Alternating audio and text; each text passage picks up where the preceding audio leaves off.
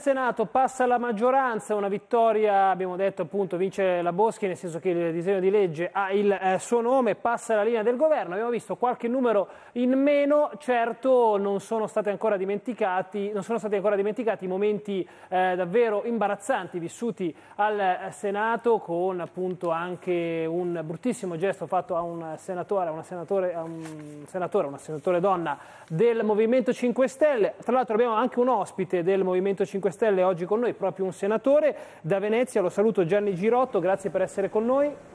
Grazie a voi per l'invito. Saluto anche a Roma il collega Fabrizio Rizzi, grazie per essere con noi, ciao Fabrizio, e l'onorevole Ileana Piazzoni eh, del Partito Democratico. Allora, Salve. grazie. Io parto da uh, Gianni Girotto, senatore Movimento 5 Stelle, anche perché è difficile tante volte avervi ospite, quindi però direi al di là della, uh, di, questa, uh, di, questo aspetto farei giusto un passo indietro anche per chiudere questa eh, situazione, nel senso che se ne è parlato, il gesto fatto nei confronti di un vostro eh, senatore, forse diciamo al di là, oltre al gesto anche le scuse che sono arrivate, o meglio non le scuse, le giustificazioni che sono arrivate dopo non sono state esattamente delle scuse, ecco, per, eh, mi perdoni il gioco delle, di parole. Sì, effettivamente non si è scusato, però mi permetta di dire due parole anche sul servizio precedente perché ero qui in studio, l'ho visto anch'io sulla gravissima situazione meteorologica in Francia. È giusto fare vedere le immagini di quello che sta succedendo a livello climatico, ma bisogna ripetere continuamente e spiegare a tutti i cittadini che questi eventi saranno sempre più frequenti e saranno sempre più frequenti perché noi stiamo immettendo in atmosfera quantità enormi spropositate di energia, di energia da fonte fossile e questa è la conseguenza, stiamo rovinando un, delicati- un delicatissimo equilibrio appunto meteorologico. Ora per risolvere questi problemi tutti sanno che dobbiamo smettere di consumare energia fossile e passare a energie rinnovabili. La cosa interessante dal punto di vista lavorativo, perché noi in Italia la priorità è il lavoro, non è la riforma del Senato, che noi siamo leader in moltissimi settori tecnologici appunto sulle energie rinnovabili e sull'efficienza energetica. Quindi questo ci consentirebbe di diventare, di prendere la, la testa di un treno che è già partito in tutto il mondo, che è appunto quello delle energie rinnovabili e dell'efficienza energetica, che è necessario per salvaguardare il clima e impedire nuovi di questi disastrosi episodi che continueranno a imperversare in tutto il mondo se non cambiamo decisamente strategia.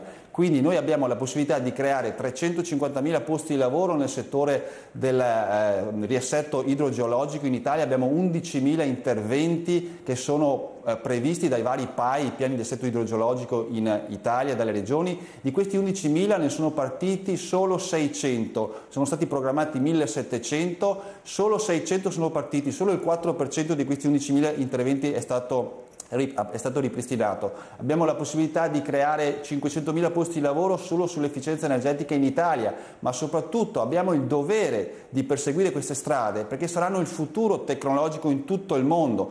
Viceversa questo governo sta deprimendo queste strade con molte eh, normative poste in essere in questa legislazione. Per cui al di là della riforma del Senato, la vera riforma che va fatta è quella sul mercato del lavoro nel, nel senso di prendere le nuove tecnologie. Basta con la petrolchimica Basta con la cementificazione selvaggia che ha rovinato il territorio, possiamo creare centinaia di migliaia di posti di lavoro con la chimica verde, con il riassetto idrogeologico, con l'efficientamento energetico degli edifici che in questo momento sprecano mediamente il 60% dell'energia che emettiamo e in questa maniera salvaguardiamo il clima e creiamo miglia- centinaia di migliaia di posti di lavoro.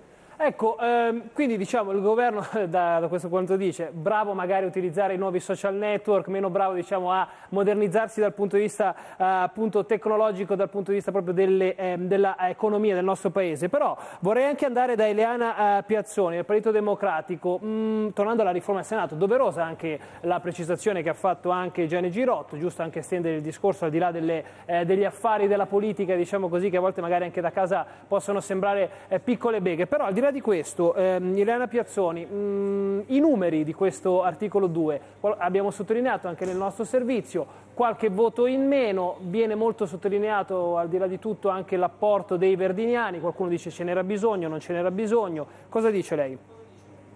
Ma guardi, innanzitutto contesto i dati che sono stati forniti dal senatore relativamente a quella che è l'opera del governo in questo settore. Ovviamente se volete possiamo dilungarci a lungo su questo e credo che sia anche non giusto rispetto a quello tempo, che è successo. Però, magari... però ovviamente eh, come dire, po- anche io posso fare un comizio su un argomento a piacere, vorrei attenermi alle sue domande e quindi di conseguenza le rispondo subito, che è quello eh, che riguarda i numeri. Eh, mi pare che sia evidente il fatto che ci sia un'ampia maggioranza che ha eh, votato questi primi articoli della riforma e, e differentemente da quello che dicevano tutti, che non ci sarebbero stati i numeri, abbiamo dimostrato che la riforma invece è possibile approvarla e spero che nei prossimi giorni si possa anche procedere celermente. Eh, la polemica relativamente a quelli che sono i numeri mancanti è un artificio, insomma un esercizio abbastanza eh, che lascia il tempo che trova. Il Partito Democratico è stato comunque unito in questa votazione ed è quello che conta perché chiaramente immagino quale sarebbe stata la polemica se a questo punto il, i voti determinanti per approvare la riforma fossero venuti da altre forze politiche, a prescindere da qualunque fossero, chiaramente il problema è che eh, la spaccatura del partito avrebbe portato una situazione molto difficile. Questa spaccatura fortunatamente non c'è stata per il grande impegno da parte di tutti a trovare un punto di equilibrio. Certo, ehm, Fabrizio, eh, al di là eh, di tutto, abbiamo detto anche il, mm, abbiamo parlato di questa, tra l'altro proprio dai Verdiniani è, arrivata, è, arrivato questo gesto nei confronti del senatore del Movimento eh, 5 Stelle, però quello che conta sottolineare è che comunque il governo, diciamo in un gergo calcistico, oggi una domenica si gioca il campionato, è 2-0 per il governo effettivamente è così o sì, secondo però... te da qui al 13 ottobre, quando il governo vorrebbe appunto approvare questa riforma, l'opposizione potrebbe mettere un gol, segnare un gol? Dunque, no, io non credo assolutamente che l'opposizione possa segnare un gol. Trovo invece stamattina nelle parole del ministro Boschi che ha fatto questa intervista alla stampa un'ingenerosa eh, eh, gratitudine verso eh, eh Verdini, che è stato il, quello che ha veramente eh, fatto girare eh, eh, la, la, fortuna eh, alle spalle di Renzi, cioè ha cavalcato la fortuna, ecco, volevo dire questo, ma soprattutto vedo che eh, c'è anche ingenerosità verso Verdini che ha dato il suo forte contributo come era nelle attese e, e, e soprattutto dice eh, Verdini non faremo neanche l'alleanza elettorale. Questo mi sembrano cose abbastanza normali ed è cambiata la maggioranza da parte, eh, il forno della maggioranza di Renzi che è andato a prelevare i voti da Verdini anziché nel partito NCD che già rumoreggia in vista dei futuri appuntamenti, futuri, soprattutto sulla legge delle unioni civili che non le vuole votare. Ecco, eh, tornando da eh, Gianni e Girotto, al di là di tutto magari entriamo anche nel merito di questa riforma, nel senso abbiamo avuto anche altri ospiti del Movimento 5 Stelle, ci hanno sottolineato determinati aspetti, andiamo uh, nel dettaglio, nel senso 100 nuovi senatori, continueranno a chiamare senatori, però ricordiamolo, saranno, eh, voi dite dei nominati, no? dei nominati addirittura dite anche per mh, politici che potranno godere dell'immunità parlamentare, anche se sono magari esponenti di enti eh, locali e per la prima volta avremo dei sindaci magari che se sono colpiti, investiti da un'inchiesta possono diciamo, avere questo tipo di scudo?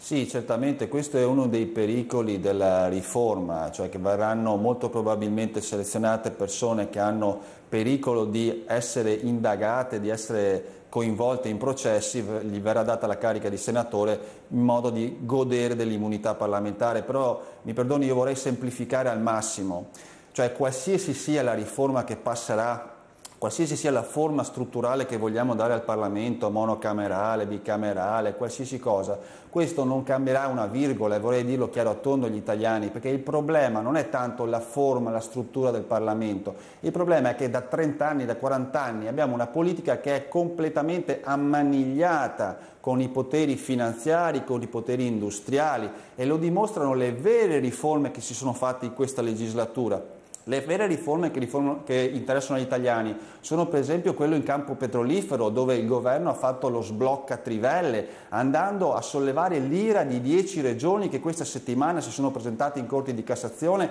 per proporre un referendum abrogativo dello sblocca trivelle che è un favore alle lobby dei petrolieri e molte di queste regioni sono a guida PD. Un'altra riforma che sta facendo il governo è quella sulla tariffa della bolletta elettrica. Gli italiani non lo sanno ma 20 milioni di loro 20 milioni di italiani l'anno prossimo, dal 1 gennaio, pagheranno di più la corrente elettrica e pagherà di più chi consumerà di meno, cioè la fascia bassa, i pensionati, i single, le coppie ehm, a basso reddito pagheranno di più la corrente elettrica, vi stanno sfilando i soldi dal portafoglio senza che ve ne, accor- che ve ne accorgiate. La riforma vera che va fatta è quella del sistema finanziario che dal 2008 a oggi non presta più denaro, non presta più denaro al mondo reale. E sono queste le cose che interessano i cittadini. Dal 2008 a oggi noi abbiamo prestato come Europa 4 mila miliardi di euro alle banche private, soldi pubblici che ci hanno messo in situazione di debito, è da lì che è aumentato in maniera insostenibile il debito. L'Italia paga dai 65 agli 80 miliardi all'anno solo di interessi al debito. Attenzione, questa è la tecnica che viene usata molto banalmente dagli usurai nei confronti delle, ecco, delle Girotto, loro vittime. Allora devo, devo, anche perché abbiamo due minuti. Visto sì, che no, mi faccio solo concludere. No, la tecnica è molto semplice. Parlando Tene, di usurai devo anche dare la possibilità di replicare. Prego, prego, finisca, poi andiamo dalla, uh, da Eleana sì, Dicevo che la tecnica è molto semplice, tenere il debitore sempre con la corda al collo, non permettergli mai di estinguere realmente il debito, perché è quello che consente al creditore di continuare a guadagnare solo gli interessi. Ripeto, sono 65-80 miliardi che paghiamo all'anno e la vera riforma che va fatta è quella del mercato finanziario che non presta più denaro al, al, mercato reale pur avendo ricevuto quantità impressionanti, l'ho detto 4 mila miliardi, adesso abbiamo un quantitative easing che, che, che nel corso dei prossimi 19 mesi presterà ulteriori 1100 miliardi di euro. Allora, onorevole Piazzoni, cosa replica a quanto dice mh, Girotto? Ma cosa vuole che replichi? Tutto quello che dice Girotto è semplicemente falso. Se vuole prendo la persona che ho incontrato al bar qui fuori e faccio intervenire e vedere se può inventare qualcosa di no, altrettanto non suggestivo. Tempo, non Però non è che spazio. si può. Guardi, io mi appello anche al suo ruolo di giornalista perché ci deve essere un limite no, al fatto che si possa andare in televisione ad affermare dato, cose completamente false e nessuno interrompe per, per, dire che siamo proprio su un altro pianeta. Quindi fa- prendo atto, devo dire, con molta eh, serenità e anche allegria il fatto che la riforma costituzionale non è più un problema, visto che è stato gridato al colpo di Stato ogni cinque minuti negli ultimi tempi. Adesso scopro che tanto è inutile perché qualunque cosa noi facciamo eh, non cambierà assolutamente assolutamente nulla. Fino a ieri si diceva che con questa riforma succedeva il disastro totale. Allora io credo che noi dovremmo veramente un pochino imparare ad attenerci a quella che è la realtà. Ci possono essere opinioni diverse, ma quello che non è ammissibile è ridurre la politica semplicemente al fatto che chiunque si alza la mattina può dire cose totalmente false senza che ci sia veramente la possibilità di confrontarsi sul merito reale di come sono le cose in questo mondo. Lo dico anche perché anche tutta la polemica che sta accadendo in questi giorni. Io condanno senza se e senza mai il senatore Barani per quello che ha fatto e spero che verranno presi presi dei provvedimenti molto seri. Però aggiungo anche una cosa, qual è la ragione, lo chiedo veramente a lei come giornalista a tutta la categoria, per cui questo fa notizia e invece il fatto che io, come tutti i miei colleghi, passiamo tutto il giorno, tutti i giorni, in un'aula a ricevere insulti di ogni tipo non fa nessuna notizia. Il fatto che Laura Boldrini, eh, Maria Elena Boschi vengano messe al centro da attacchi di ogni tipo, altro che sessisti. La Boldrini è stata anche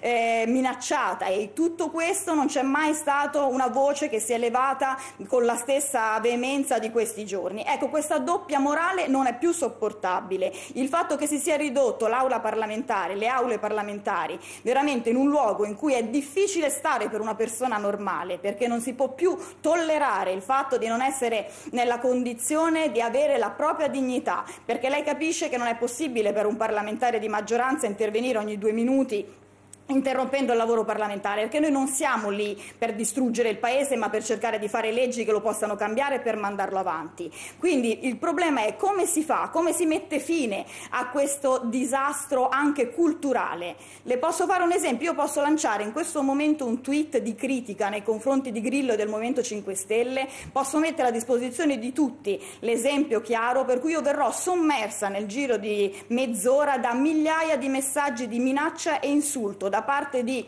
account poco chiari che non hanno nemmeno nome e cognome. Tutto questo è normale, tutto questo è il modo di fare dire, politica, questo è il modo di cambiare certo, questo paese. Lascia a voi la risposta. No, certo, purtroppo poi rispondo non per tutta la categoria dei giornalisti, rispondo a una pena per me stesso, quindi si figuri, però purtroppo è vero che inevitabilmente i social forse andrebbero anche usati in maniera un po' particolare, perché purtroppo si viene sommersi anche non solo i politici, in generale eh, diciamo, eh, è un luogo dove c'è poco No, poco però può filtro. essere evidenziato sì, quando in aula certo. succedono episodi terribili tutto il giorno, tutti i giorni. Ecco, io questo vi chiedo, no, no, chiaro, di mettere chiaro, veramente in evidenza il fatto che c'è ormai uno scadimento totale questo viene fatto soprattutto da parte di una specifica forza politica, che è il Movimento 5 Stelle. Credo che questo sia necessario per il bene di tutti e per provare a ritornare a fare politica in maniera seria.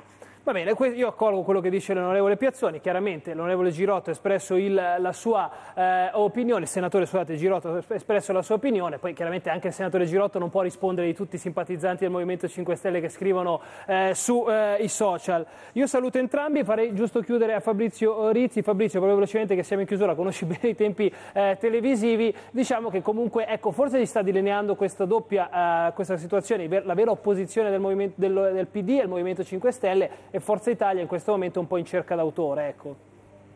Sì, c'è stata questa ricompensa politica per un aiuto in Senato eh, che vede, con, vede, NCD, un altro un alleato del governo, eh, fortemente eh, all'opposizione. Quindi per, come andrà avanti, come si risolverà questa contraddizione è più politica, è un nodo politico che Renzi deve assolutamente, non può pensare di tenere il eh, Verdini eh, chiuso eh, in una stanza senza parlare, senza dire nulla da qui a, ai prossimi appuntamenti perché eh, Verdini non va bene, non, è, non può entrare nel giardino della, eh, dei democratici e invece eh, questa, eh, nei prossimi giorni sia, mh, c'è questo, eh, il voto eh, sulle coppie eh, civili che veramente può essere una, una svolta. Chiaro, chiaro. Allora, dipende, Fabrizio... dipende, se l'NCD vuole davvero rompere oppure io non credo. E vedremo, vedremo. Allora, Fabrizio Rizzi, io ringrazio il collega Fabrizio Rizzi, giornalista, ringrazio ancora, lo dicevo prima, il senatore Girotto da Venezia e l'onorevole Piazzoni del Partito Democratico per essere stati con noi. Ci rivediamo dopo la pubblicità.